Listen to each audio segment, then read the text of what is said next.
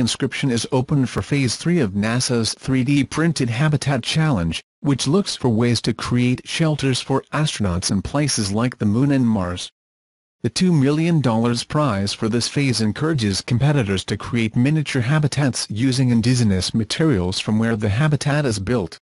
An example of this would be the lunar regolith, or soil for a habitat on the Moon.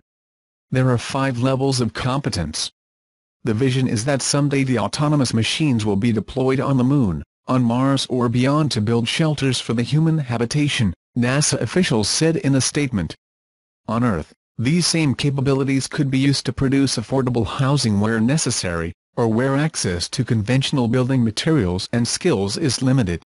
The ideas and technologies that this competition has already produced are encouraging, and we are excited to see what this next phase will bring, Monsi Roman, program manager of NASA's Centennial Challenges, said in the statement.